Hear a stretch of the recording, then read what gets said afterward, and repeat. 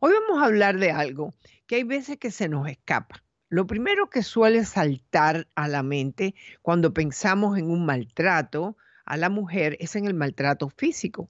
Yo quiero incluir también al hombre, porque hay hombres que también los maltratan, ¿no? Pero hay otro maltrato que hay veces que se ignora y es el que tenemos que más que nada observar, porque de ahí al paso del maltrato físico es nada, es un, brinquito nada más.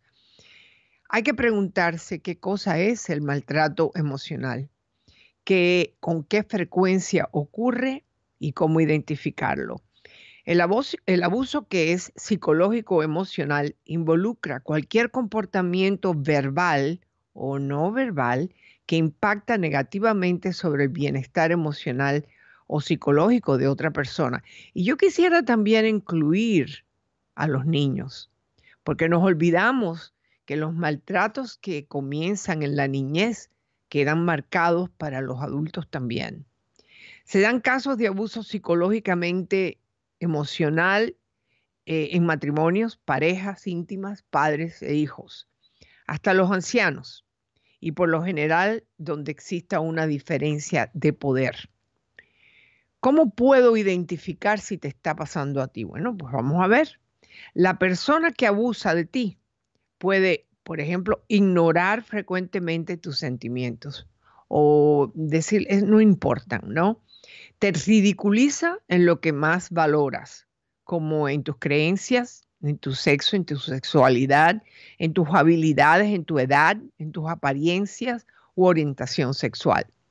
Te ridiculiza o insulta por tu religión, raza, familia, quizás clase social o idioma. Se, se abstiene de aprobar lo que haces, de mostrar aprecio o afecto. Constantemente te critica, te insulta y te grita. Te humilla en privado o en público. Se niega a socializar contigo. No te permite trabajar. Controla el dinero y toma todas las decisiones. Intenta evitar que veas o hables con familiares y amistades. Frecuentemente te amenaza con marchar o te dice que te marches. Te manipula con mentiras y contradicciones. Se comporta de manera amenazadora. Utiliza expresiones faciales o posturas corporales para intimidarte y te acusa de infidelidad también utiliza un lenguaje sexualizado y abusa verbalmente de los niños o las mascotas del hogar. Entonces, es importante que no todos tienen que estar ocurriendo al mismo tiempo. Pueden ser tres o cuatro que pueden estar molestándote y impactándote emocionalmente a ti o en el caso de los niños a los niños. Como respuesta a esto, puedes sentirte inservible, dependiente del abusador, confundida, triste, enfadada, aislada y también sin control de tu vida. ¿Cuáles pueden ser algunas de las causas? Pues vamos a mirarlas. Una persona puede abusar de otra para reclamar control. Es posible que ellos mismos se sientan enfadados o impotentes por más que nada su cólera es redirigido a alguien cercano o con mejor poder sobre ellos, así como sobre miembros familiares. En ocasiones fueron abusados en la niñez, aunque no siempre por ello se convierten en abusadores. Quiero que se fijen en eso. No todos los que son abusados en la niñez se convierten en abusadores.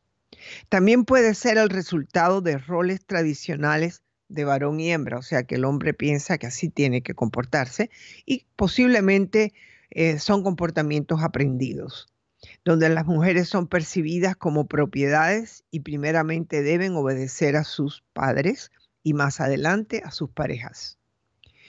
Si también hay abuso físico o sexual, entonces el abuso emocional obligatoriamente también hay, es y emocional, ¿no?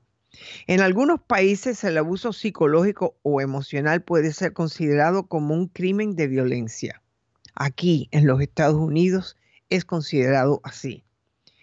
¿Qué puedes esperar? El abuso emocional tiende a mantenerse constantemente y suele ser difícil para la víctima percatarse y creer lo que le está sucediendo. Hay veces que te lo dicen tanto que te lo crees, ¿no? ¿Cómo puedes enfrentarte a ello? Si no estás segura de estar siendo abusada, háblalo con alguna amiga o familiares o inclusive si consideras que te está abusando emocionalmente y te está haciendo un impacto, búscate a alguien que te ayude. Hay un programa muy bueno en todos los Estados Unidos que se llama Emociones Anónimas.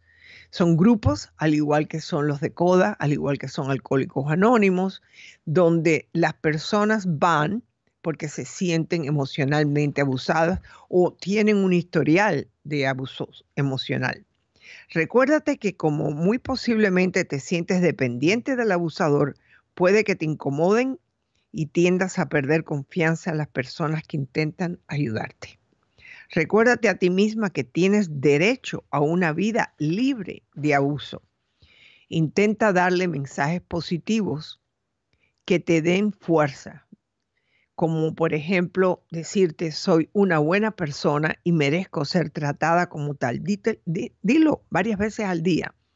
Participa en actividades de las que puedas disfrutar que te animen y fortalezcan. Ahí están los grupos como Emociones Anónimas o CODA.